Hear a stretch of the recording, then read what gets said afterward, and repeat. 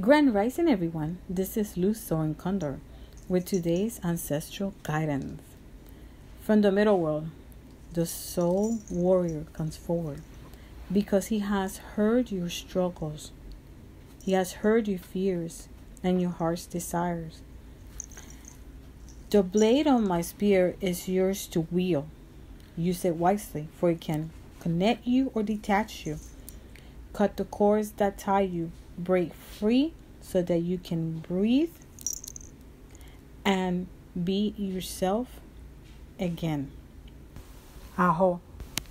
If you would like to book a reading with Luz Soaring Condor and Wayne Winding Eagle, visit us at Shaman Bag Boutique. If you like us, subscribe to our channel at Shaman Way 1.